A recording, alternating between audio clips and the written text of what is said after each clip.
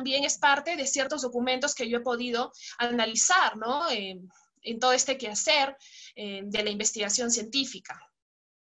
La investigación ofrece respuestas desde el punto de vista científico, tecnológico, social, educativo y humanístico, ya que gracias a ella se puede tener una visión multidisciplinar de las dificultades de cualquier índole junto a la docencia y a la extensión universitaria, que son los pilares fundamentales en todos los contextos, no se puede concebir una institución universitaria sin la gestión de estos procesos elementales.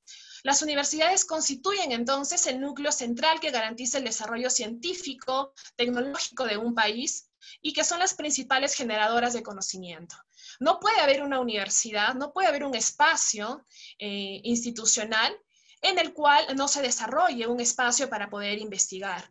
Para ello se va formando a los estudiantes y al final lo que ustedes van haciendo en su vida universitaria no solamente es... Mm, recopilar información, sino también ustedes generar conocimiento, que esa es la finalidad de la investigación. Todo profesional tiene que investigar, ningún profesional se tiene que quedar con toda la información del pasado, sino que tiene la finalidad y tiene la responsabilidad incluso de poder generar, modificar, ampliar y corregir el conocimiento de los tiempos pasados y adecuarlos a este contexto tan tecnologizado. Bien.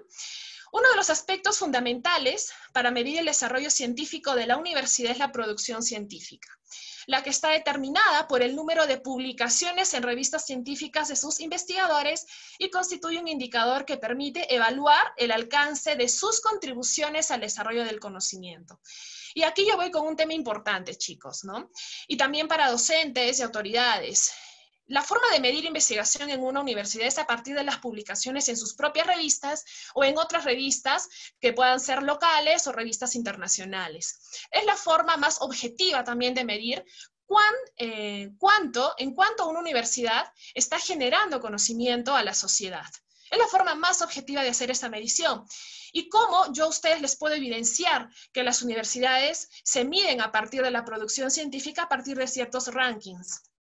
Por ejemplo, yo aquí les estoy compartiendo la segunda edición del 2020 del ranking web de universidades, es la fuente del 2020, la última fuente que nos da a conocer eh, cómo se está moviendo la investigación en distintas universidades del Perú. Y es que, claro, ¿no? Lo importante y lo adecuado y lo que generaría realmente un bienestar desde distintos dominios, tanto para estudiantes, docentes, para la misma institución y también con la finalidad principal que es para el desarrollo de la sociedad, eh, se tiene que medir, tiene que, necesita una, una medición objetiva. Y aquí si ustedes pueden visualizar esta imagen, aquí nosotros eh, estamos visualizando el ranking de las universidades en cuestión de producción científica. Este año ha sido bastante difícil para poder producir investigación porque también se requiere de inversión, se requiere de dinero, es entendible. Sin embargo, eso no limita a que se pueda producir conocimiento. Existe una amalgama amplia de formas de poder hacer publicación científica, desde trabajos experimentales y que necesiten una inversión bastante amplia, como las investigaciones que eh, ahora, en las cuales ahora se está tratando de encontrar la vacuna contra el COVID que necesitan una inversión bastante amplia y existen ciertos investigaciones, pero también existen otro tipo de investigaciones mucho más básicas, pero que también son significativas y que también aportan conocimiento. Y que estas investigaciones podrían ser parte del trabajo, eh, del quehacer diario de los estudiantes de pregrado como ustedes. Y acá yo les, eh, les muestro, ¿no? Vemos eh, acá la lista de las universidades que tienen mayor cantidad de publicaciones en Perú. Y hemos acá estamos viendo unas lineecitas donde dice ranking Perú igual, en uno dice más 2 y en otro dice menos 2. ¿Qué es lo que quiere decir ello? Que existe, según esta página web, em, se está midiendo el incremento o el decremento de las investigaciones publicadas en distintas universidades. Y aquí estamos viendo, por ejemplo, siendo bien específicos, nuestra casa de estudios, la Universidad San Martín de Porres, ha tenido, a pesar de la situación de la coyuntura de pandemia, un incremento em, de dos puntos porcentuales en la investigación, ¿no? en la producción científica. ¿Y cómo nosotros podemos nuevamente evidenciar esos dos puntos porcentuales en la búsqueda de las investigaciones que tengan filiación Universidad San Martín de Porres en sus distintas filiales. ¿bien? Entonces, esta es una forma de medir.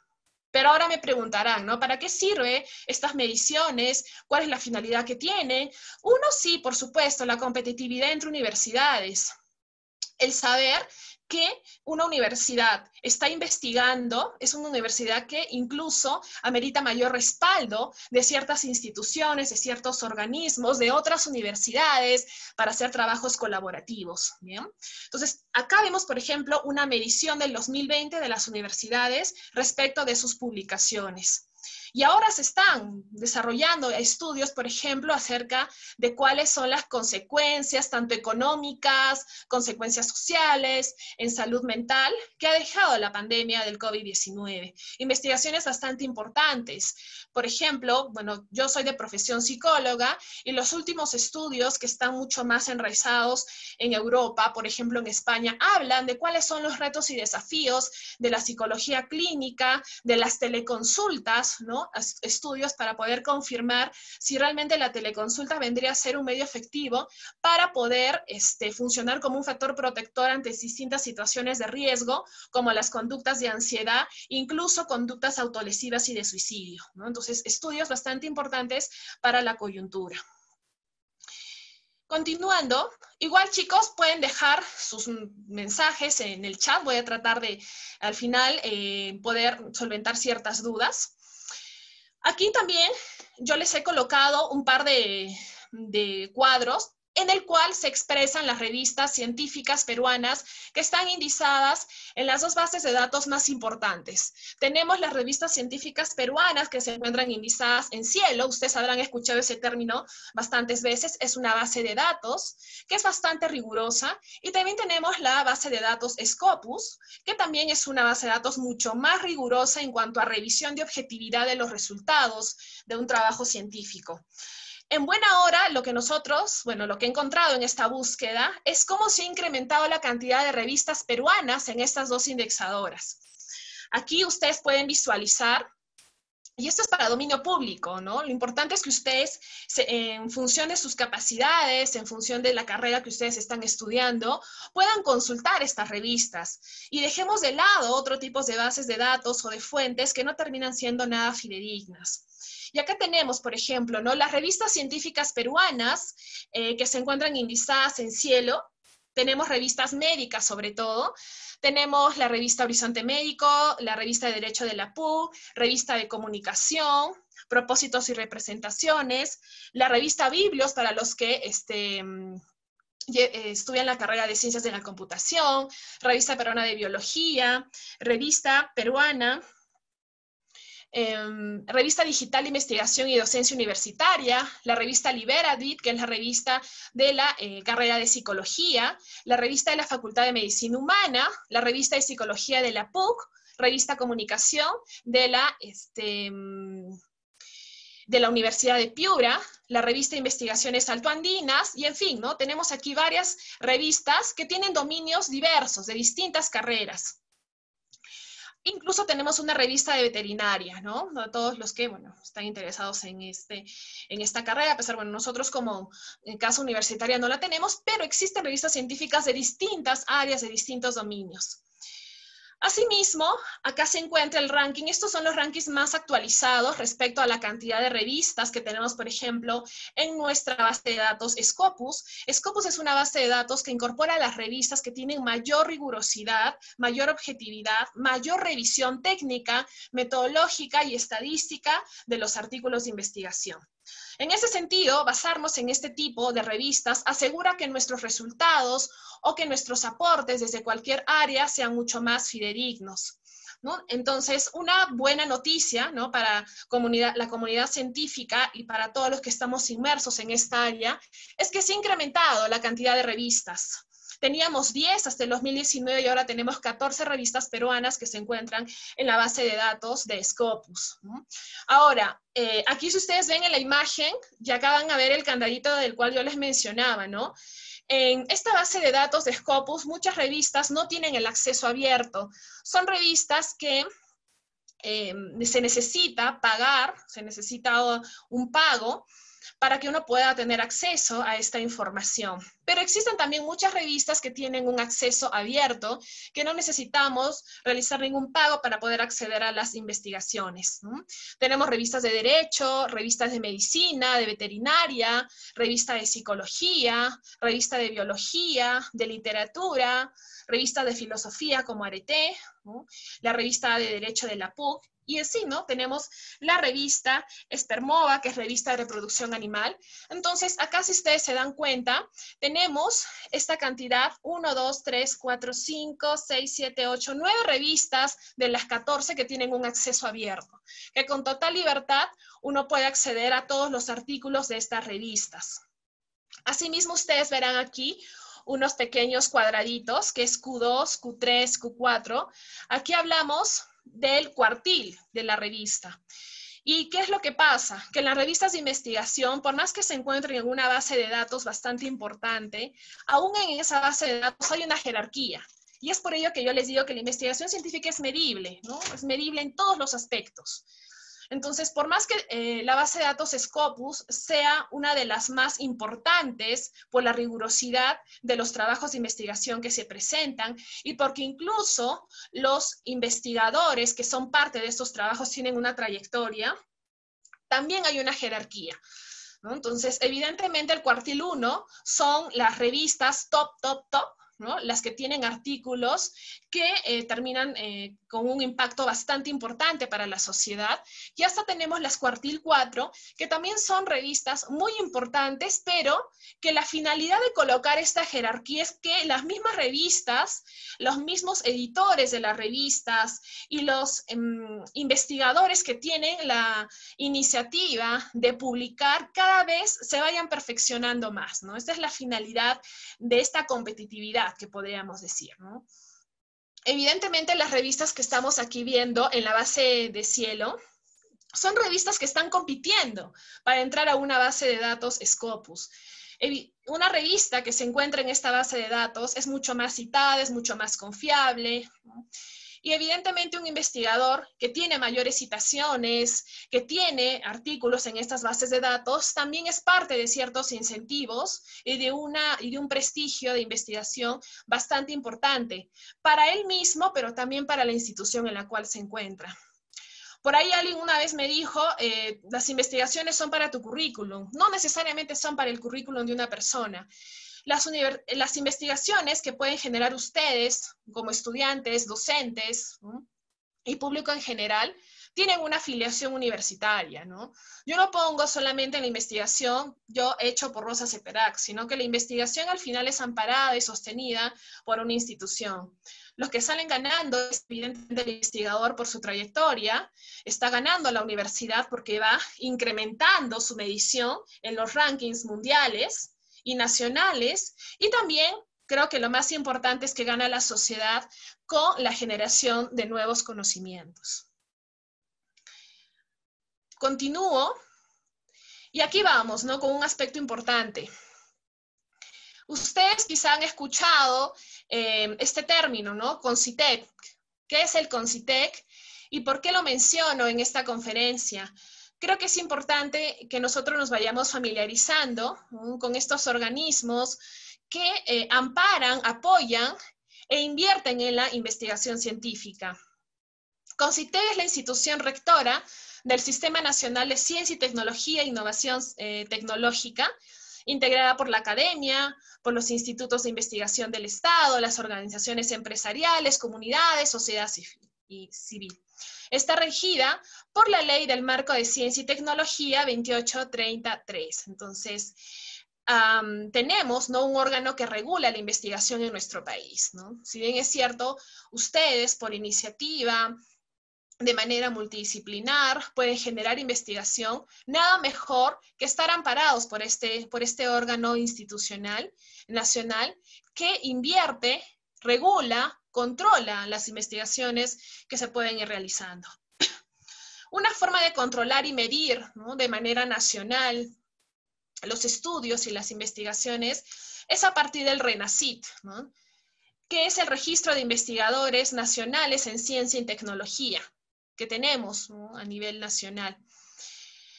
Aquí ustedes, si pueden googlearlo, ustedes pueden colocar RENACIT y ustedes van a tener toda la lista y el registro de todos los investigadores que existen a nivel nacional. Ahora no tengo el número de cuántos son los investigadores a nivel nacional. La buena noticia es que se están incrementando a lo largo de los años. Todos los investigadores están afiliados a una universidad, porque es el espacio por excelencia que te puede amparar para hacer algún tipo de investigación. Y, esta, eh, y este órgano, con CITEC, a través del RENACIT, también es una forma de medir la investigación en las universidades. Lo importante y lo ideal sería que las universidades cuenten con docentes que tengan una especialidad, ¿no? que se especialicen, que publiquen, que eh, no solamente pues, mm, se valora la actividad de la docencia, pero se complementaría y sería mucho más perfecta si también realizaran algún tipo de aporte científico que es el resultado de todo el bagaje teórico que tiene el docente. Entonces, por alguna razón existe el RENACIT, ¿no? que es esta, esta lista, ¿no? este um, conjunto de investigadores nacionales. Y existe también una jerarquía para medir a los investigadores. ¿no? Tenemos dos clasificaciones en Perú, María Robstorowski y tenemos a Carlos Monge. Bueno, ¿por qué habrán puesto esos nombres? No lo sé, pero es una forma de clasificar a los investigadores nacionales. Y evidentemente, si uno hace la búsqueda, va a encontrar cuántos investigadores existe por cada casa de estudios. Y esta es una forma importante de medir qué tan em, actualizada y qué tan científica vendría a ser una universidad. Y ante ello, em, comparto, y algunos de mis estudiantes se los he compartido, incluso fue parte de su examen parcial, este, ¿no? parte del, screen de un paper que me pareció muy interesante de la revista interamericana de psicología, que habla de la publicación científica de asesores de tesis de psicología de 30 universidades peruanas. ¿no? Y es que, claro, también se hacen investigaciones para poder conocer qué es lo que está pasando con las universidades. ¿Por qué el nivel de investigación en Perú aún no es tan significativo? Estamos en pañales, podríamos decir, en muchas cosas respecto a investigación, a pesar de que ya tenemos un órgano que puede regular y controlar. Bueno, me pareció muy interesante esta investigación de unos colegas, Bien, que nos mencionan ¿no? la frecuencia de publicación científica de asesores de tesis en 30 universidades peruanas. Los resultados revelaron que el 58% nunca ha publicado un artículo científico, solo un 26% lo ha hecho en los últimos tres años y un 18% en los últimos cinco años. Un 23.8% ha logrado publicar en revistas indizadas en Cielo y 14.7% en Scopus. En 10 de 30 universidades peruanas, más del 50% de docentes había publicado algún artículo científico y solo de dos a cinco universidades tuvieron docentes que han publicado en los últimos tres y cinco años. Vaya, ¿no? Entonces, lo que concluye este estudio que la producción científica de los asesores de tesis en psicología es baja. Y esto, ¿cuál es el problema, no? El problema es que el no investigar puede generar conocimientos no válidos. Por alguna razón, estamos manejando mal ciertas circunstancias, por ejemplo, en la coyuntura. Mucha de la responsabilidad parte de los profesionales que va sacando las universidades. Entonces, eh, acá un aspecto importante de reflexión para los docentes es justamente que tengamos una mentalidad mucho más científica, que tengamos esa apertura a la búsqueda de conocimiento, a la crítica, a la generación, a la discusión de teorías, que nos puedan aportar conocimientos más acorde a las necesidades reales que estamos viviendo en estos momentos. ¿no? Como les mencionaba, la investigación, por ejemplo, en psicología está dando nuevos intentos de respuesta para que los abordajes terapéuticos en la psicología clínica sean mucho más, em, tengan mayor repercusión, sean más significativos. Y que, claro, tenemos que adaptar nuestro, nuestro quehacer profesional hacia y encajarlo hacia las nuevas necesidades que está originando esta coyuntura, en psicología y en otras carreras, las nuevas formas de arquitectura, por ejemplo, ¿no? Los nuevos procesos en derecho, qué se puede hacer con el tema de conciencia ambiental, en medicina también, ¿no? Nuevas formas de poder producir anticuerpos, qué sé yo, en distintos dominios, en distintas carreras. Incluso eh, lo importante y lo magnífico de la investigación es hacer los trabajos multidisciplinares. Por ahí encontré un trabajo que, por ejemplo, unía a odontología y a psicología, ¿no? Y mencionaba cuáles podrían ser las nuevas intervenciones odontológicas para niños con trastorno de espectro autista. Ustedes dirán, bueno, ¿qué tiene que ver uno con la otra? Bueno, para los no conocedores de los temas de psicología, los niños que tienen trastorno de espectro autista son niños que son hipersensibles a los estímulos del medio. Em, tienen una, su estado de alerta está mucho más vulnerable, son más eh, hipersensibles, hiperreactivos a cualquier estímulo. En ese sentido, ir a una cita odontológica, si para muchos les parece algo terrorífico por estos sonidos que hacen los instrumentos eh, odontológicos, imagínense lo que sufriría un niño que tiene un TEA. Y estos niños, para poder em, quizá eh, relajarse, o poder como mecanismo de defensa responder ante esta situación, pues tienen ciertas conductas que terminan siendo incluso negativas, autolesivas, conductas de ansiedad, que al final termina haciéndoles daño a los propios niños. Entonces, qué importante es unir las distintas carreras, los distintos dominios estudiantiles para que se pueda generar nuevo conocimiento. Y eso se puede generar en pregrado. La finalidad, eh, por ejemplo, de, la filial, que a mediano plazo espero que las cosas puedan resultar de manera fructífera, es generar una feria de investigación, con todos los estudiantes, con ideas innovadoras, con eh, ciertas respuestas, con ciertos hallazgos o propuestas que se puedan desarrollar en una coyuntura menos inestable como las que estamos viviendo ahora. Pero para ello requerimos también esfuerzo y dedicación y una mayor apertura a la ciencia por parte de los docentes y que ellos mismos puedan aculturizarse respecto a todo lo que se refiere a investigación. Bien, entonces eh, los requisitos para hacer una investigación es plantear un problema real, una necesidad social, una necesidad para la ciencia, y esto es algo importante, ¿no? ¿Hasta qué punto ¿no? hacer una investigación eh, es realmente importante para la sociedad y es que ahí tenemos que tener una, un carácter mucho más explorativo, una crítica a todos los problemas reales que se están originando. Hacer investigación sí, requiere tiempo, requiere inversión, requiere esfuerzo, y para ello, pues tenemos que nosotros eh, colocar nuestros esfuerzos y nuestro tiempo en temas que sean lo más relevantes para la sociedad. Evitar replicar temas estudiados, generar nuevo conocimiento. Hay temas que ya se han estudiado, están bastante rebuscados. Lo importante es generar nuevas ideas, nuevas variables en discusión. Considerar la exploración multidisciplinar, como se los menciono, ¿no? abordar no solamente un área de conocimiento, sino poder unirla y hacer un trabajo complementario que tenga mucho mayor impacto con otro tipo de dominios. Y em, eliminar el estigma de los estudios cuantitativos como los únicos posibles, ¿no?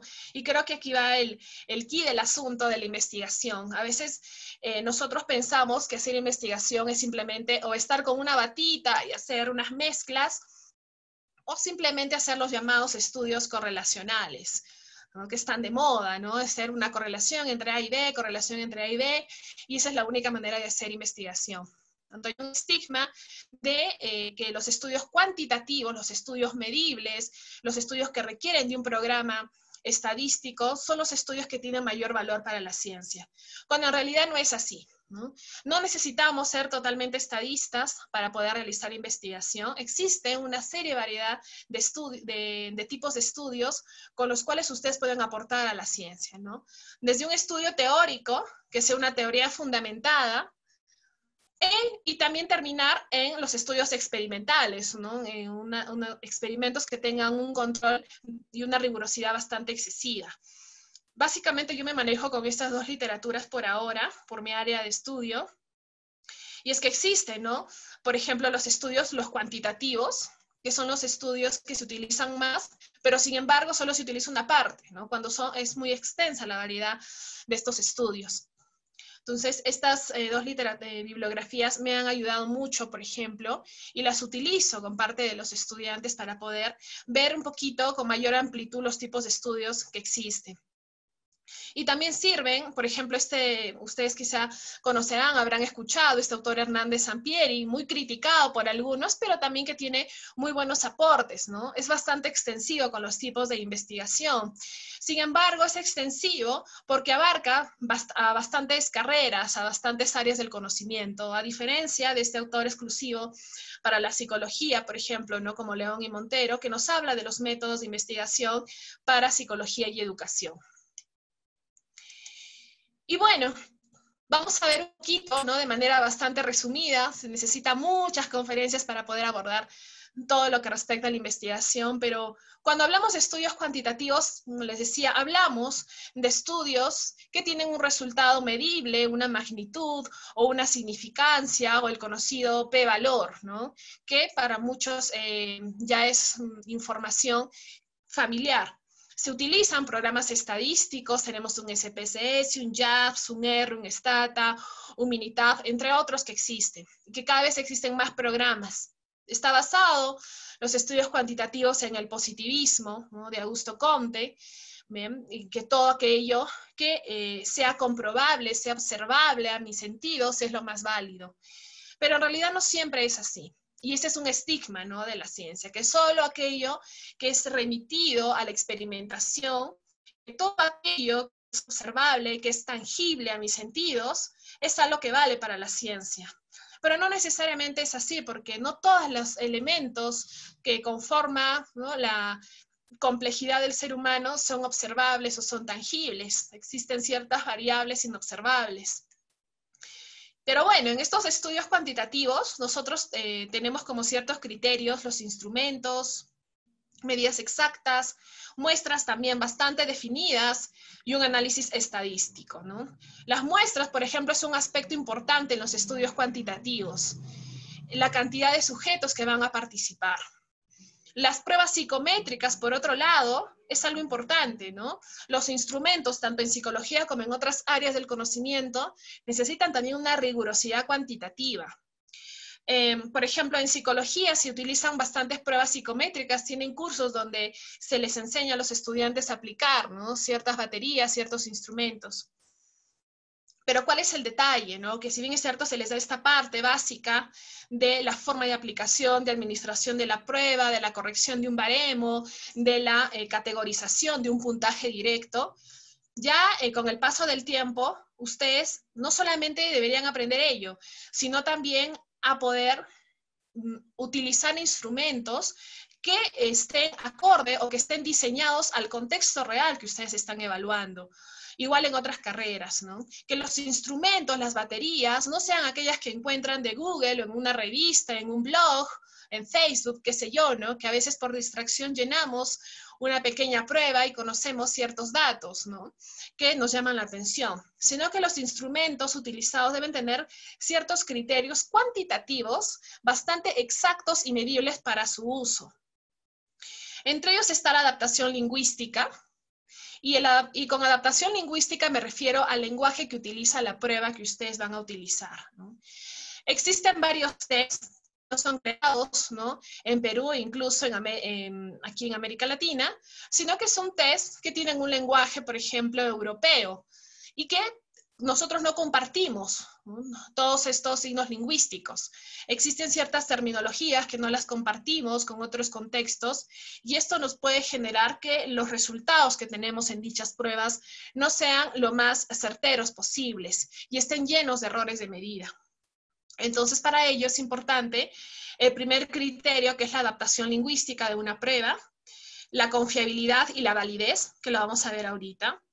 Entonces, em, son criterios que requieren de estudio, que requieren de un análisis cuantitativo, pero son necesarios, ¿no? Son un poco tediosos, pero son necesarios para poder asegurarnos que el hallazgo que nosotros estamos presentando realmente sea el más válido, ¿no? Y el más certero, el más coherente, y me pueda dar un resultado que beneficie al grupo, a la muestra o a la población en la cual yo estoy estudiando. En ese sentido, por más que nosotros hayamos, yo también me, enseñaron distintas pruebas no, que no tenían realmente un origen en Perú, pues cuando yo hice ya la tesis de licenciatura y a partir ya de mi quehacer como profesional, ya empecé a ser mucho más exacta, mucho más precisa en la búsqueda de instrumentos, que ya con toda la base teórica que me pueden dar a la universidad, yo puedo ir perfeccionando esa búsqueda de instrumentos que tengan una adaptación lingüística, que tengan una confiabilidad y que tengan una validez respecto al contexto que yo estoy analizando. Em, por ejemplo, hay un término que yo se los mencionaba a algunos, algunos estudiantes, after office. Este término se ha estado utilizando, ¿no? En los últimos, bueno, en el último año, ¿no?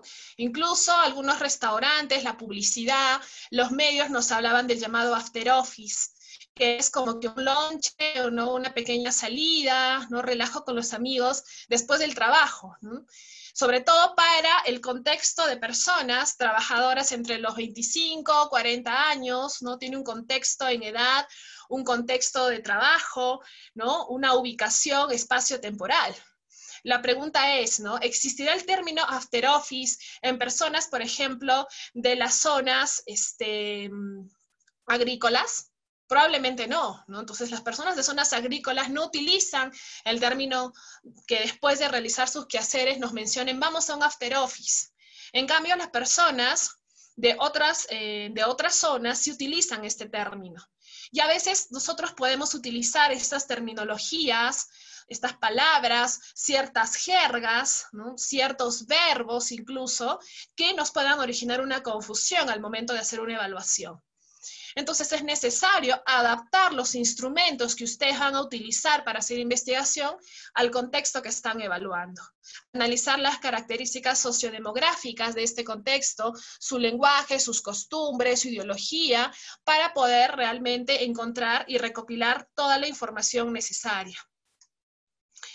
Los métodos experimentales, las intervenciones que vendrían a ser aquellos estudios con mayor rigurosidad, deben pasar por pruebas pilotos o ensayos para probar su confiabilidad a largo plazo.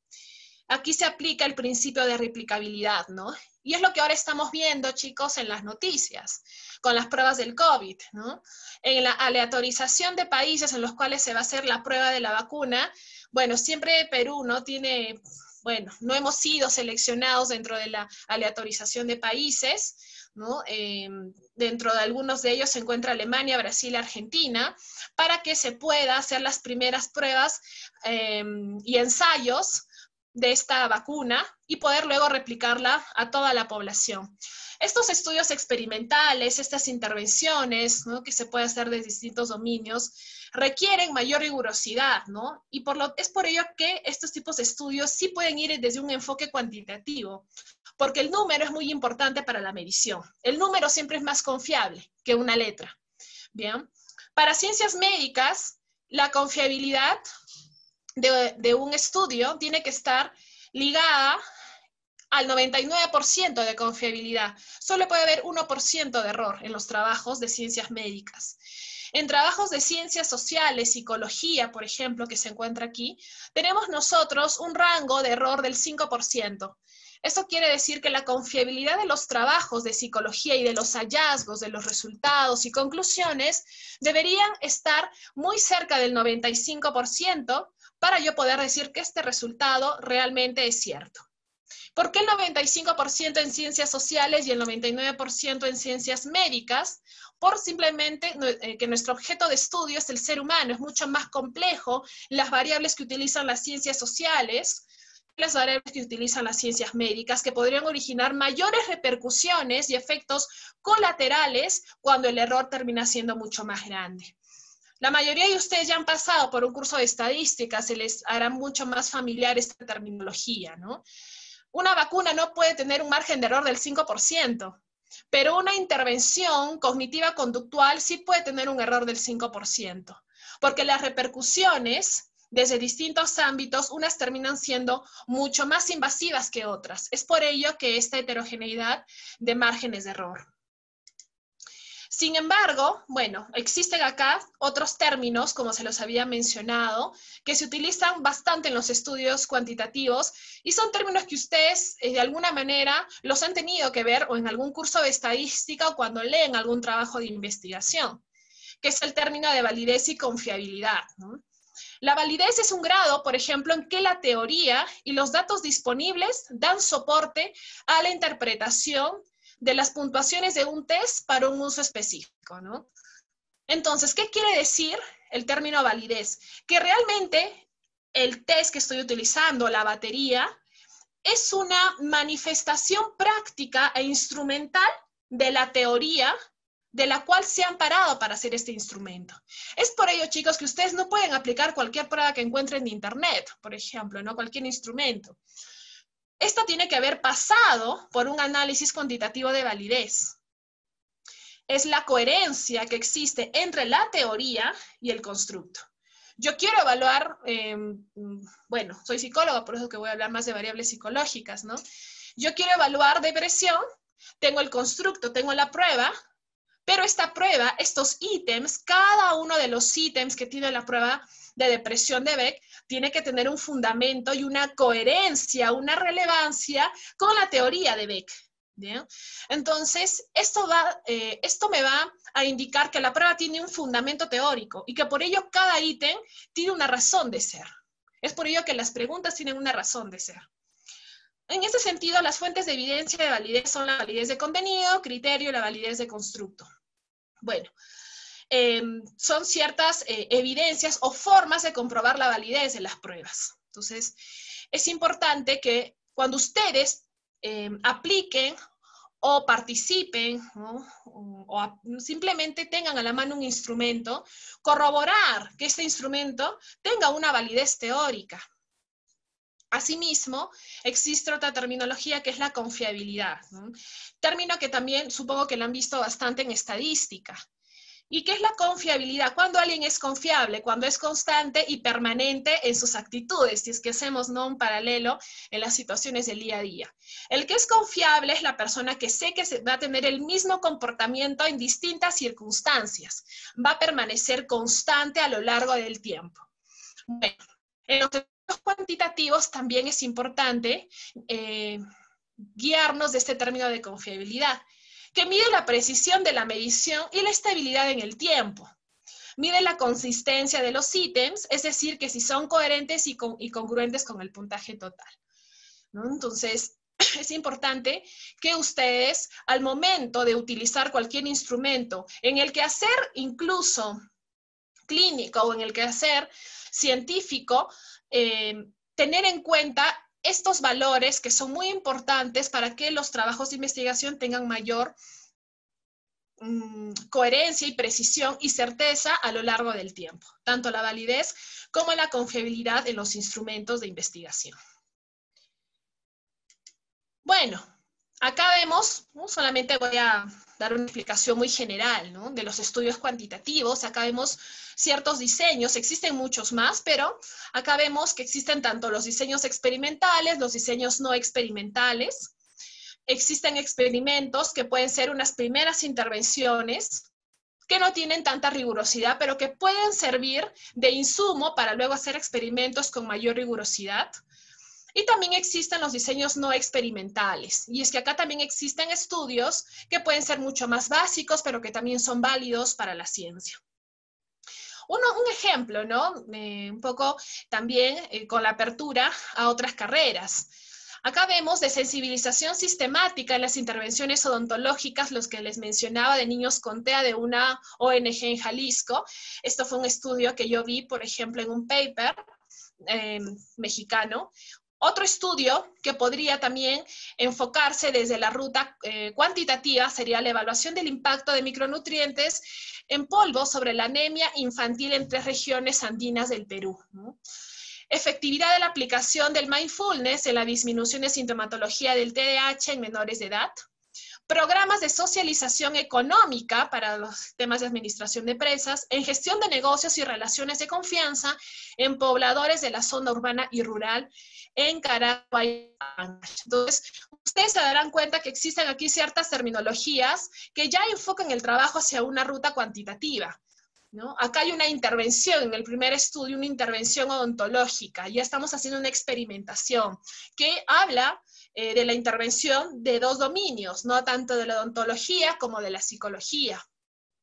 Impacto, evaluación del impacto de micronutrientes en la anemia infantil en tres regiones andinas del Perú. También hablamos de evaluación de impacto, una medición, si es que realmente es efectivo los micronutrientes o no son efectivos. Es un estudio cuantitativo porque un número es el que me va a medir la exactitud de este impacto. Efectividad de la aplicación del mindfulness en la disminución del TDAH.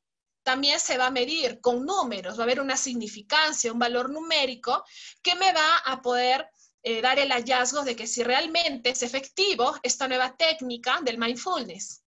Y por último, hablamos de un programa de socialización económica, ¿no? Para otro tipo de dominio, para otro tipo de carrera, los programas de socialización económica, eh, nuevos programas para reactivar la economía después de la pandemia, em, también podrían ser parte de los estudios cuantitativos para ver si hay una efectividad, si realmente existe una mm, un afianzamiento de la economía en las personas, por ejemplo, de pequeñas o medianas empresas.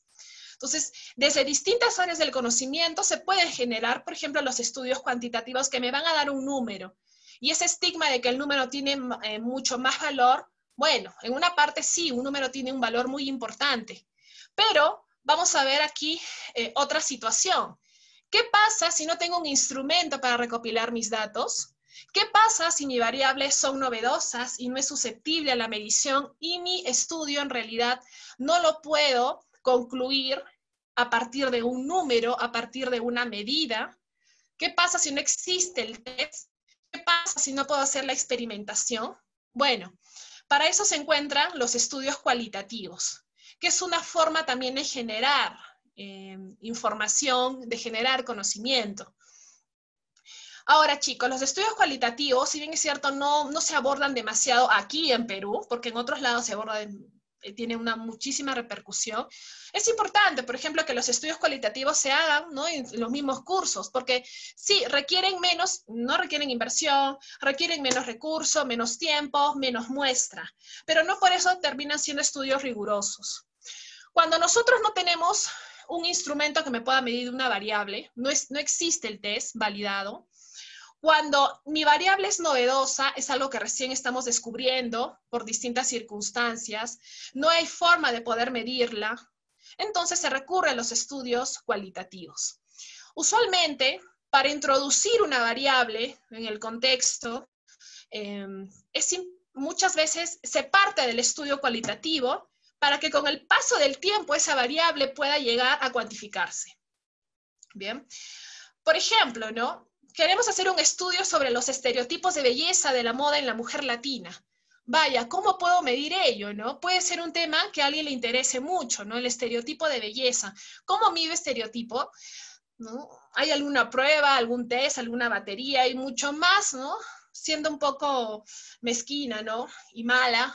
¿Hay una batería en Perú que mida esa variable? No, o sea, no hay forma. Si no hay en América Latina, mucho menos la va a haber en Perú, porque no tenemos todavía una cultura de investigación bastante importante, ¿no? Bastante amplia. Entonces, ¿qué hago cuando tengo ciertas variables que no son susceptibles a la medición, que no tengo justamente estos recursos que, eh, con los cuales yo puedo tener un puntaje, una categoría, con los cuales yo puedo utilizar un, programa de investigación? Otro ejemplo, ¿no? Que también se los he comentado a algunos, algunos estudiantes. El nuevo fenómeno social con Netflix. Creo que la mayoría utiliza Netflix, ¿no? Yo no utilizo Netflix porque no tengo tiempo, pero muchos de ustedes utilizan Netflix y a partir de ello pues se relajan y ven un montón de series. Bueno, dentro de la psicología hay un nuevo fenómeno que no, es, no tiene una forma de medición porque no existe un test, una batería. Es más, ni siquiera en Europa y en Estados Unidos todavía se ha podido desarrollar un test. Bien, es una variable novedosa porque el mismo contexto y el fenómeno es novedoso, ¿no? Hablamos de un binge watching, ¿no? Que es el atracón al ver series, ese atracón televisivo.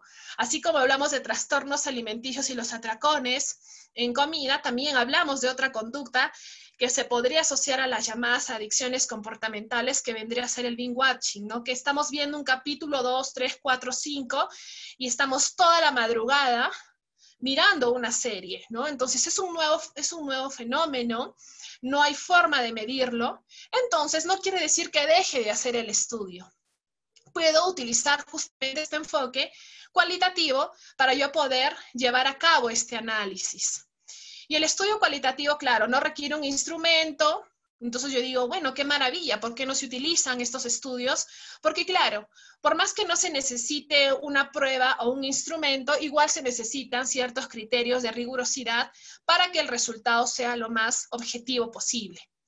Y es que aquí tenemos ¿no? cierta cantidad, bueno, desde un autor, Hernández y Mendoza, ciertos tipos de estudios cualitativos, ¿no? Tenemos estudios etnográficos, fenomenológicos, narrativos, estudios de investigación-acción.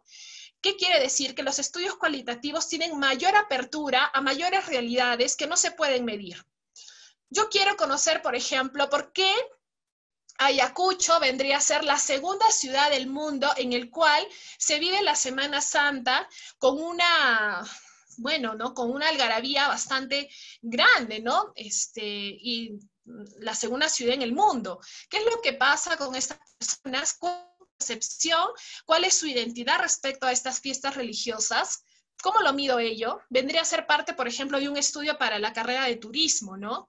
¿Qué tanto se impone esta, esta, esta fiesta religiosa que parte de la cultura ¿no? de esta ciudad puede tener una influencia significativa y esto puede ser parte para poder eh, incrementar el turismo. Bueno, podemos hacer un estudio cualitativo etnográfico, viene de etnia, de cultura. Entonces, si hay posibilidad de que estos tipos de variables, que no hay forma de medirlos con números, se puedan medir a través de otro tipo de técnicas que las vamos a ver en un momento. El binge watching, por ejemplo, terminaría siendo un estudio fenomenológico, fenómenos nuevos, ¿no? Que se van originando con la inserción de la tecnología, de la modernización. Tenemos eh, otros tipos de estudios que son narrativos en el cual sí se puede analizar, discutir de manera fundamentada la vida, eh, la biografía, de ciertos personajes significativos o de un grupo de personas que fueron, em, que tuvieron una relevancia muy importante en la sociedad. ¿bien? Entonces, a partir de ellos sí se pueden hacer estos estudios cualitativos porque justamente comprenden, analizan, interpretan las opiniones, percepciones, creencias, estados de ánimo, sentimientos como dice el nombre, estas cualidades, ¿no? Por eso es que son estudios cualitativos. Uno de los elementos que generan viabilidad en estos estudios es que no requieren una muestra probabilística, sino que puede ser llevado a cabo con muestras pequeñas, mínimo de 10 personas. Pero que sí en realidad me van a dar un resultado importante. Y estos vendrían a ser como que los primeros inicios para luego, con varios estudios cualitativos de esta variable, luego esto puede servir de recurso y de justificación para llevar a cabo un estudio cuantitativo. Entonces, la importancia de los estudios cualitativos sí está dada, ¿no? Y tenemos una infinidad de variables que no son susceptibles a la medición. Y ustedes podrían también realizar sus trabajos desde este enfoque.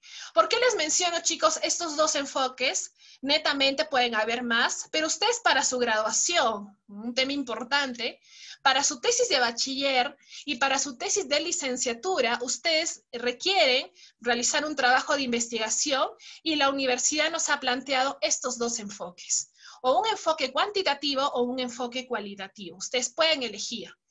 Bueno, también puede haber un enfoque mixto, eso será um, motivo de otra conferencia, bien. Pero eh, yo les estoy dando ciertos alcances sobre estos dos enfoques que son los con los que trabaja la universidad, los que acepta la universidad incluso para su graduación tanto de bachiller como de licenciatura. En ese sentido, hay ciertas carreras en las cuales podría ser un poco más difícil hacer ciertos estudios cuantitativos, pues tienen esta ruta que también va a generar un impacto en los resultados que ustedes puedan generar. Como les digo, la muestra no es una muestra amplia porque los mismos grupos de personas que conforman un estudio cualitativo no suelen ser tan amplios, ¿no? Suelen ser muestras reducidas, ¿no? De personas que están arraigadas por un tema, por un fenómeno, por una creencia, por alguna eh, situación en particular.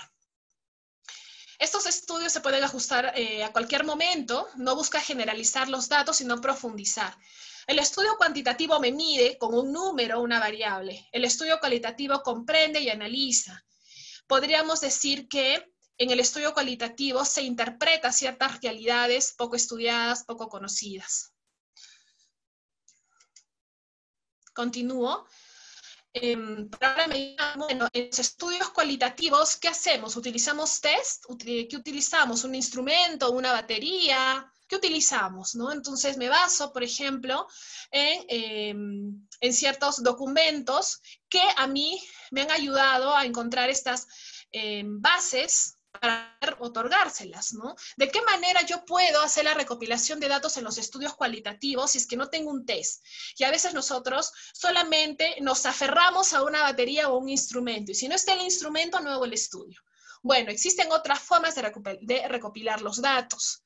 Bien, tenemos fuentes primarias y fuentes secundarias. Tenemos focus group. Ustedes creo que la mayoría de ustedes tendrán una noción de los grupos focales o los focus group. Entrevistas, relatos, narraciones cronológicas, encuestas de opinión, observación sistematizada, entrevistas en medios, expedientes, documentales, historias clínicas, informes, los mismos diarios, redes sociales, las biografías que pueden estar documentadas en distintos medios, ¿no? Entonces, esta es la forma y estas son las técnicas que se utilizan para que ustedes puedan recopilar estos datos en los estudios cualitativos. Por ejemplo, acá hay una red social ¿no? de rock, metal y pop. ¿Ahí yo puedo recopilar data? Por supuesto que sí. De los focus group, por supuesto. De entrevistas en focus group sobre un tema importante, ¿no? Sobre un tema, por ejemplo, incluso que mm, pueda medirse de manera cuantitativa, pero yo lo quiera medir de manera cualitativa para tener más información, es posible, sí.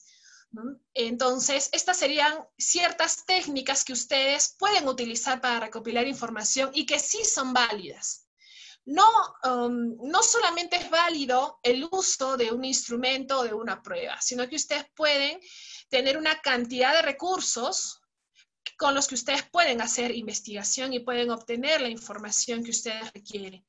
La ciencia no se limita. La ciencia es flexible en el sentido de que procura entender todos los fenómenos, no solamente aquellos que pueden estar arraigados a una experimentación, a una intervención, sino otro tipo de fenómenos. Entonces, eh, al poder yo brindarles esta, estos conocimientos, eh, la idea es que ustedes puedan generar mayores ideas de investigación para sus pues, eh, futuros trabajos, para sus futuras tesis o trabajos que ustedes tengan que realizar en el quehacer universitario. Si bien es cierto, eh, la universidad como comunidad científica no contempla estos tipos de estudios, igual se los menciono, ¿no? Que también existe las revisiones sistemáticas, los metaanálisis y los estudios bibliométricos que ustedes los van a encontrar en las búsquedas que ustedes realizan para sus trabajos.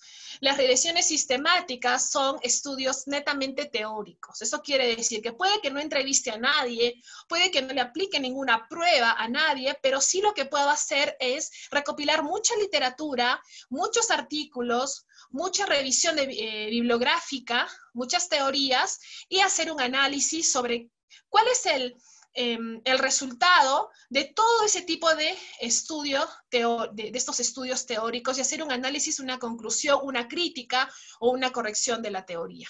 Y eso tiene como nombre revisión sistemática. ¿no? Existen muchos autores, investigadores, que lejos de hacer estudios cuantitativos, que requieren una muestra, em, sujetos para poder realizar la recopilación de datos, su base, su muestra en este caso, sería la misma literatura, las mismas eh, investigaciones, artículos, documentos que se encuentran en la web. Asimismo, tenemos los metaanálisis, que terminan siendo los estudios más top, más importantes de la, de la ciencia, de la web, ¿no? de las revistas. Los metaanálisis son estudios que sobre todo, eh, bueno, la mayoría de ellos, los más importantes, se van a encontrar en inglés, bueno, acá yo he colocado en español, que habla del efecto del ejercicio en el funcionamiento cognitivo de adultos mayores. ¿Qué es el metaanálisis? Es el análisis, redundando, de, la, de todos los estudios hablen de una misma variable. Pero me dirán, es lo mismo que usted ha mencionado en la revisión sistemática. Bueno, el metaanálisis tiene otra parte, que es una parte estadística, que se vuelve a procesar, que se hace un, un análisis estadístico, un procesamiento estadístico de toda esta data, de todas estas conclusiones de cada estudio que se ha realizado para poder condensar en un solo hallazgo. Entonces hay una parte teórica o una parte cuantitativa ¿no? y hay una parte cualitativa. Y luego tenemos también los estudios bibliométricos. Los estudios bibliométricos eh, tienen la finalidad de analizar las publicaciones que se realizan en distintos países. bibliométrico es la medición de la literatura. Por ejemplo, análisis bibliométrico de las publicaciones peruanas relacionadas a la resistencia antimicrobiana en Scopus. ¿Cuántos, ¿Cuántos son los artículos de Perú que hablan de esta variable? Y ahí está también la medición de lo que les mencionaba al comienzo, ¿no? ¿Cuántos artículos en Perú se han publicado sobre COVID-19? ¿Mm? Estudios bibliométricos. Entonces, también existe esta forma de poder realizar investigación. Y justamente yéndonos a, los estudios bibliométricos, yo les presento este mapita que me pareció muy importante, que es el, es el gráfico, por ejemplo, de un estudio que nos habla justamente de cuáles son los artículos publicados sobre el COVID-19 y si se dan cuenta, bueno, todavía no tenemos artículos en Perú. Sé que están en elaboración muchos colegas que conozco, pero acá, por ejemplo, existe un análisis eh, mundial acerca de la cantidad de artículos que se están publicando sobre el COVID. Si se dan cuenta, bueno, vemos mucha mayor cantidad de artículos en Estados Unidos, Japón, evidentemente, donde inicia la pandemia, España, Canadá, Francia, Australia, Brasil, India y Chile, ¿no? Entonces, vemos aquí cómo se va expandiendo y cómo se va distribuyendo em, la cantidad de artículos científicos sobre una variable. Entonces, eso también nos ayuda a medir ¿no? no solo a la universidad, sino al país, ¿no? ¿Qué países están invirtiendo más en investigación? Esto, bueno, es un, es un documento, es una fuente sacada de dimensión.ai que me pareció bastante importante, ¿no? Y antes de comenzar con las preguntas, con lo que ustedes quieran poder eh, mencionar a través del chat, me pareció igual importante, ¿no? Lo que se mencionó, no, no tengo nada que ver con política ni nada por si acaso, no soy vizcarrista ni nada de ello, pero me pareció importante, creo que siempre hay que sacar eh, y extraer los elementos eh, importantes respecto a estos temas como la ciencia, ¿no? Eh, esto, por ejemplo, yo lo rescato de Concitec. Concitec justamente es la publicación eh, donde se rescata ¿no? lo que dijo nuestro presidente. La lucha contra la pandemia es un compromiso de todos y todas. Por eso, Concitec ha destinado más de 11.5 millones para financiar 50 proyectos de investigación y desarrollo que atiendan a la emergencia de COVID en el Perú. Bueno, se van a distribuir en función a concursos. No se puede otorgar ese dinero así de fácil, sino que debe existir ciertos concursos, criterios y protocolos rigurosos de revisión para que se pueda dar lugar a la inversión de estos estudios en las universidades para que se pueda dar soluciones a esta coyuntura que estamos viviendo. Lo que menciona, ¿no, presidente? Es decenas de expertos y jóvenes científicos nos han demostrado que pese a todas las adversidades, sí es posible realizar ciencia en nuestro país. Comparto esta idea porque en realidad sí es posible hacer ciencia, es posible la publicación, la difusión, por más que como encargada del área de investigación, eh, tengo la expectativa de que los trabajos de investigación que se puedan generar con los estudiantes y docentes, pues muchos de ellos eh, tengan la finalidad de ser publicados o en revistas locales, o en revistas internacionales. creo que parte de esta iniciativa, de estas ganas de poder aportar a la sociedad, no solamente desde un ámbito teórico, desde la, generar conocimiento para uno mismo, sino que la ciencia genera conocimiento para la sociedad, ¿no? Comparte el conocimiento hacia todos, lo que genera mayor desarrollo hacia una nación. Creo que uno de los insumos importantes para que pueda desarrollarse una nación y poder tener mejores recursos, para poder tener mejor implementación en distintas áreas de desarrollo se fundamenta en la ciencia. Y es la universidad el, espacio por excelencia para que se puedan desarrollar todo este tipo de proyectos. ¿Listo, chicos? Entonces, con esta parte eh, concluyo ¿no? la, exposición teórica y, bueno, doy paso a las preguntas o algunos comentarios que ustedes eh, quieran generar respecto a esta conferencia. Bueno, acá hay algunos, me parece. Entonces, pueden eh, escribir sus preguntas por el chat.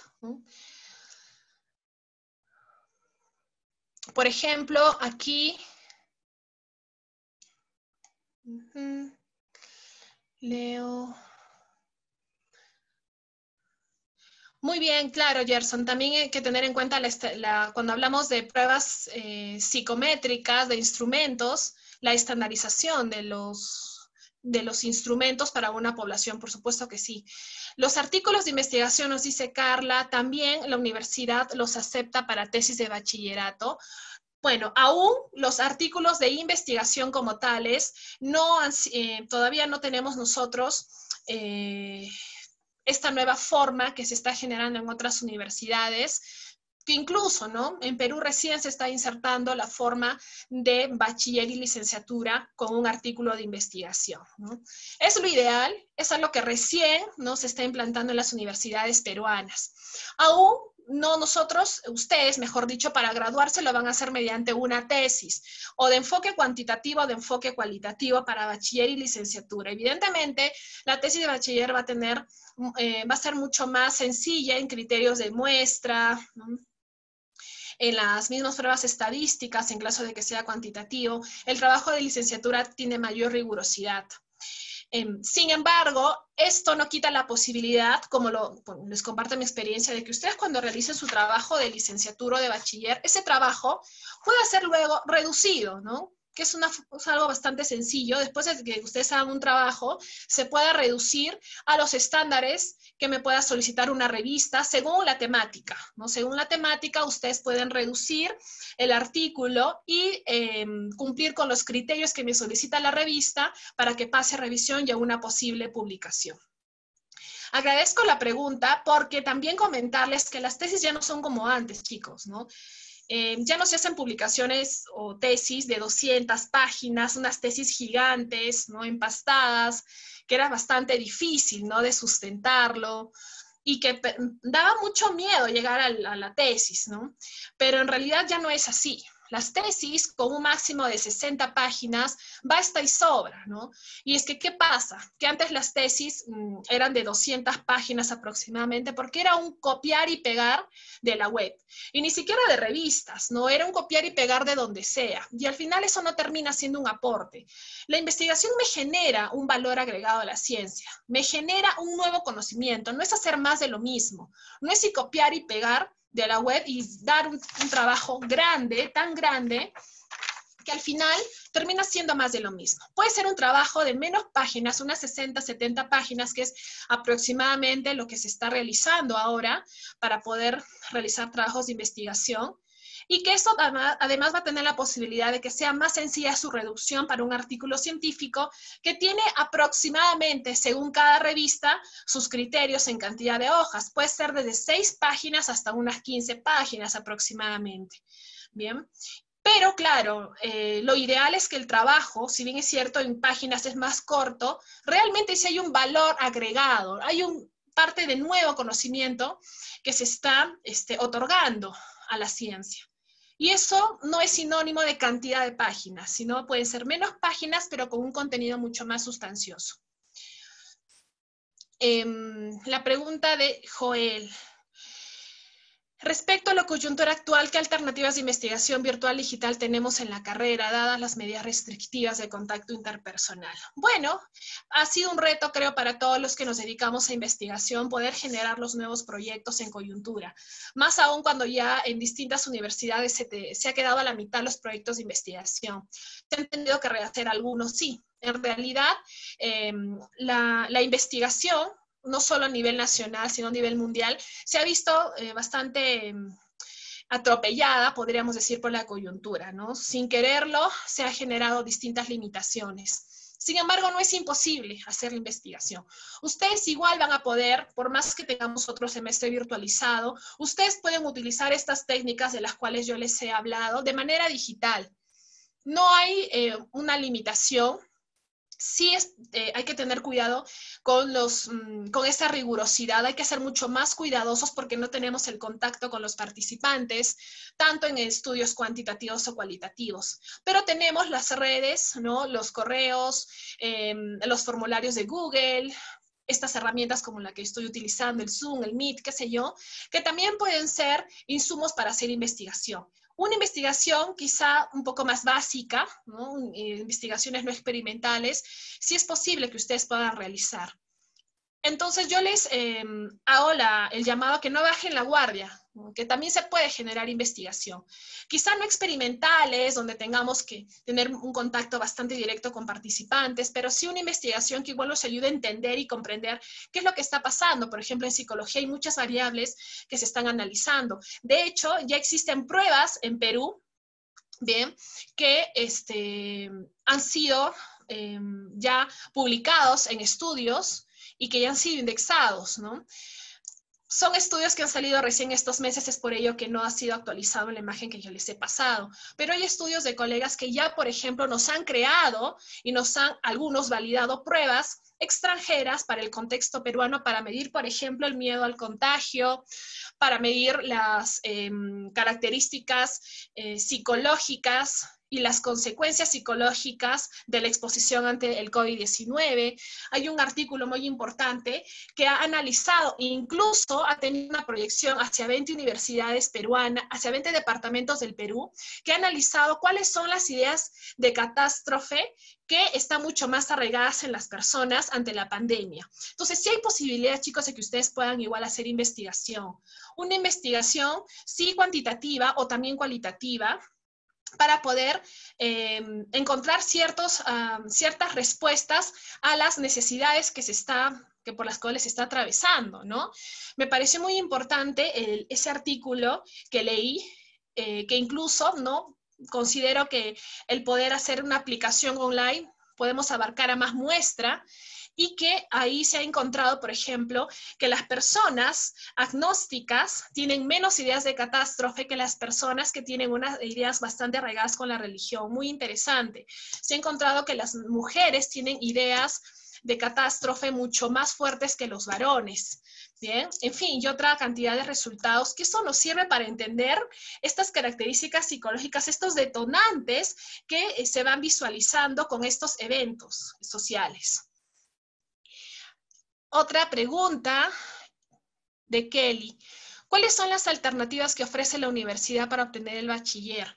Bueno, como les mencionaba a ustedes, una de las, bueno, uno de los requisitos para que ustedes se puedan bachillerar es hacer su trabajo de investigación de bachiller desde estas dos rutas que yo les he mencionado. Bueno, la universidad eh, tiene por cada carrera un, encargados, docentes especialistas encargados del área de investigación, que los van a ir asesorando para que ustedes en el curso adecuado puedan hacer su proyecto de investigación y luego lo puedan ejecutar. El bachiller, claro, es todo un, proceso administrativo bastante amplio, pero si yo les tengo que hablar de algo en específico, es del trabajo de investigación, que ese trabajo de investigación es corregido y es evaluado y aprobado por el docente del curso. Es la tesis de licenciatura la que sí, es, en la que se lleva a cabo una sustentación pública, una sustentación con jurados y también con el público, el que desee participar. Esas son las dos formas eh, de, de trabajo de investigación que ustedes tendrán que realizar para poder llevar a cabo y lograr sus grados académicos. Luego me pregunta Renato, ¿qué habilidades personales cree que debe desarrollar un estudiante que quiera dedicarse a la investigación? Bueno, en realidad, por ejemplo, yo nunca me imaginé que me iba a dedicar a investigar. Yo, yo me veía en el ámbito clínico desde que empecé la carrera. Em, y es que, claro, chicos, uno con el paso de los años, cuando va conociendo más, se te genera mayores, em, mayores luces ¿no? en el camino, mayores oportunidades, mayores opciones para poder desenvolverte. En realidad fue recién en décimo semestre cuando me decido a dedicarme a la investigación. Por, eh, porque, bueno, a muchos docentes, por ejemplo, personalmente les, les atrajo mucho mi tema de investigación y porque me di cuenta que existen ciertas, y ahí me di cuenta que, claro, sí tenía ciertas habilidades. Primero tenía bastante motivación, me gustaba mucho, ¿no? Este, la lectura, pero también hay ciertas habilidades, ¿no? Eh, que creo que ustedes las pueden desarrollar de dos modos. Hay una motivación intrínseca que muchos ya la pueden tener y decir, mira, ¿sabes qué cosa? Yo me quiero, a mí me encanta el hecho de, eh, eh, tengo ese ánimo de siempre buscar información, de mm, ser muy conocedor de las cosas. Bueno, aquí podemos ver que hay una, una, motivación intrínseca de siempre querer saber más y no conformarse con lo que se nos da. ¿no?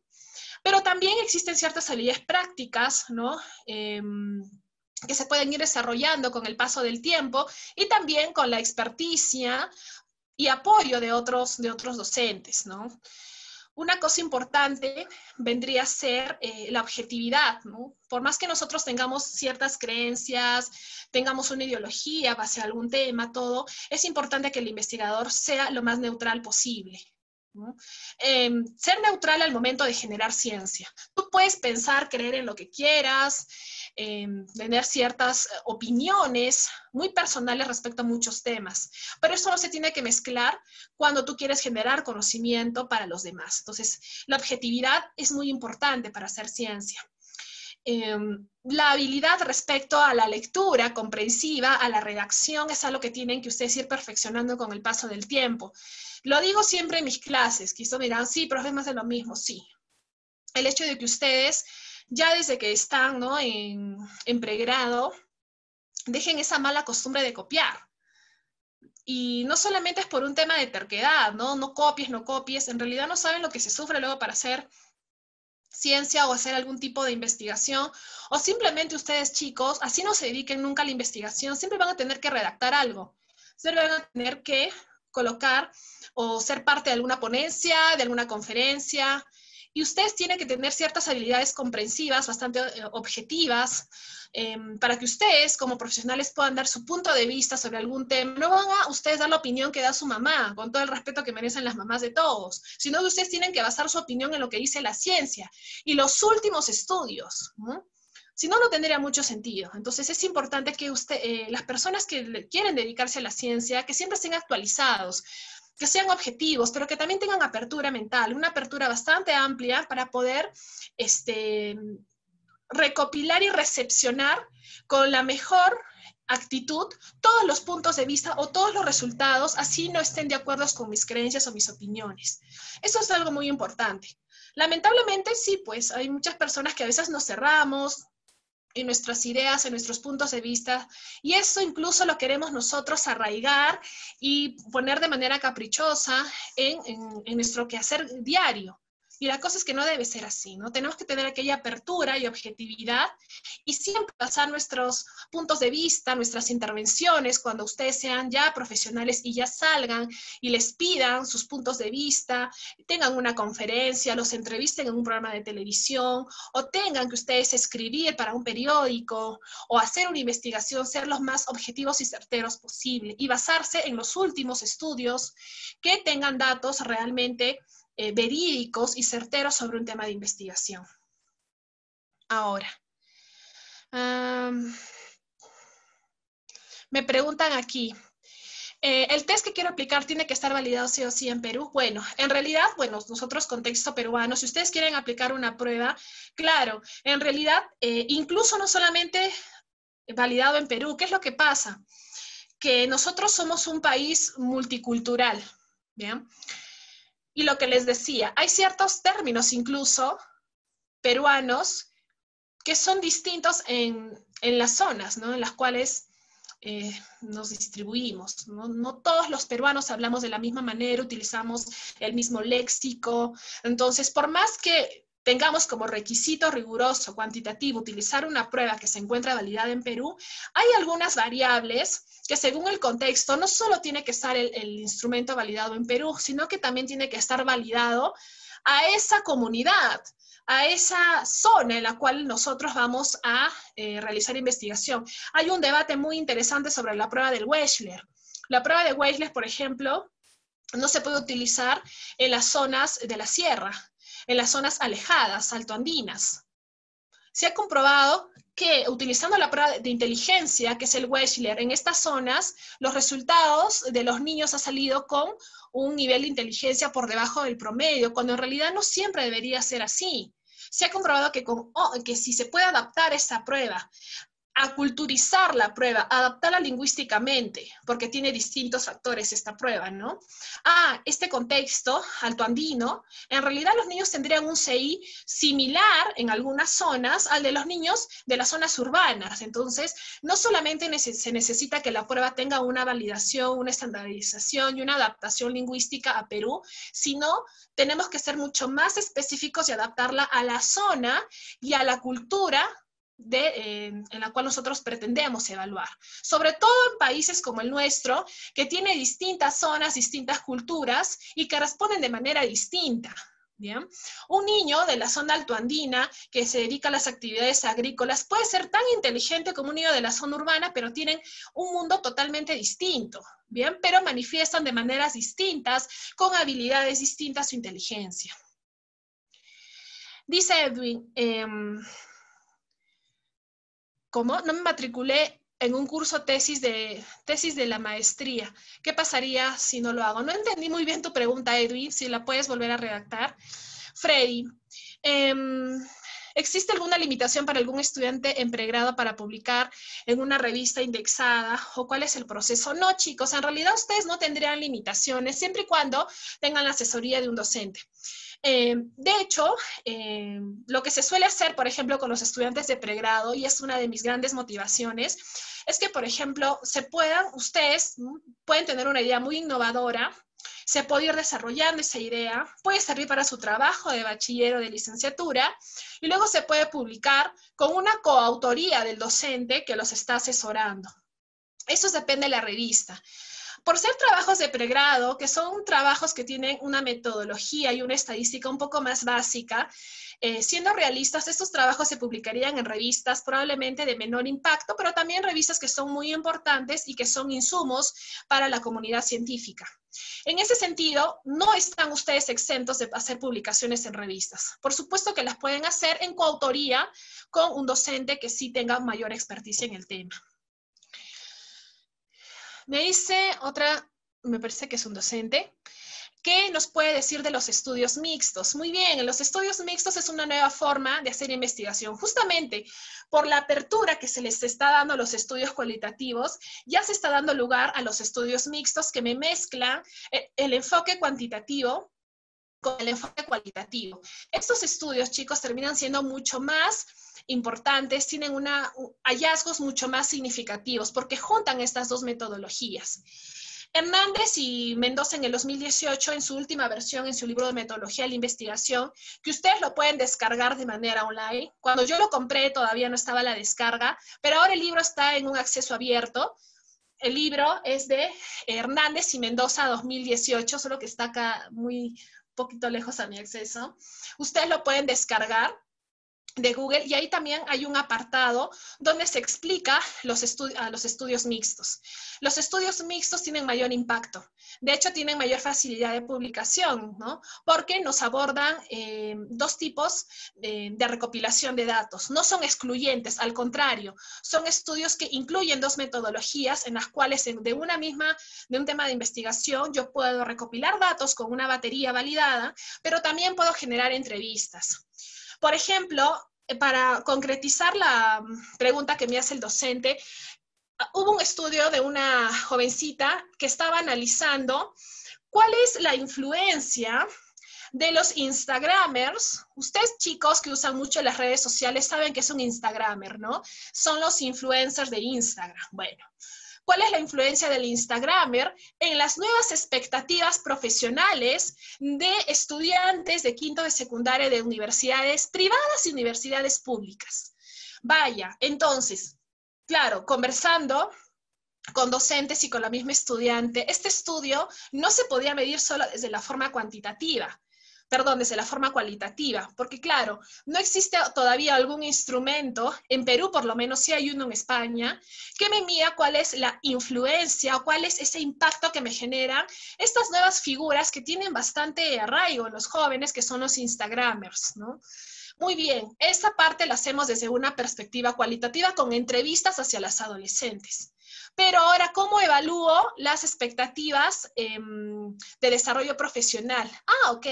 Esto, esta variable sí la puedo medir con una batería que es, sí la tenemos validada, ¿ok? Entonces encontremos el instrumento que me mide expectativas profesionales en adolescentes. Entonces se unificaron las dos propuestas, cuantitativa y cualitativa, y se llevó a cabo un estudio muy importante que está en aras a publicación. Entonces, estos estudios tienen mayor impacto, tienen hallazgos más novedosos, son mucho más sustanciales, pero es evidente que se requiere mayor recursos, en algunos casos un poquito de inversión y sobre todo, pues, ¿no? siempre asesores que puedan acompañar el proceso de esta investigación. Dice Edwin, no me matriculé en un curso, tesis 1 de la maestría en julio, ¿qué pasará si no lo hago? Todo diseño por la pandemia, facilidad. ¿Estás hablando de maestría, Edwin? Porque, bueno, la información que yo tengo ahora es, exclusivamente para estudiantes de pregrado. Bien, entonces, para estudios de maestría, no tengo esa información, no conozco la currícula de las, maestrías de la, de la, universidad. Las maestrías ahora, bueno, sobre todo se llevan a cabo en la sede central, ¿no? Entonces, bueno, lamentablemente no te puedo responder este, esta pregunta. Asumo que, bueno, habrá que, que contactarse con el personal administrativo. Supongo que para todos siempre se está dando cierta flexibilidad en cuestiones de, cursos, pero lo único que yo puedo decir es que para tanto estudiantes de pregrado y posgrado, uno no puede al final realizar el trabajo de investigación sin antes haber tenido eh, o no puede mm, llegar a su bachillerato, si es que antes no ha aprobado todos los cursos de pregrado y luego ha concluido y ha sido aprobado su trabajo de bachiller. La única respuesta que en ese momento te puede dar, ¿no? Por el tema de maestrías no tengo conocimiento. Muy bien, chicos, entonces eh, me gustaría eh, continuar luego con otro tipo de conferencias que se van a llevar a cabo, como les menciono. Eh, esta es una de las tantas que se van a dar en, todo este, tanto en la coyuntura, pero también cuando termine esta situación difícil, la idea es poder seguir ahondando con algunos temas como la búsqueda de datos. Ya netamente va a haber un webinar en el cual vamos a hacer búsqueda de información. Entonces, bueno, eh, antes de que ustedes puedan salir de la conferencia, les voy a pedir un favor, justamente hablando de investigación. Yo siempre aprovecho todas las situaciones para hacer investigación. Me gustaría, por favor, bueno, es evidentemente previa libertad de ustedes, que como una forma de apoyo para una investigación, pues me puedan ayudar con esta prueba. No es lo único que se les podría pedir antes de terminar esta conferencia. Agradecer a todos por su asistencia y ya nos veremos en alguna otra oportunidad. Muchísimas gracias.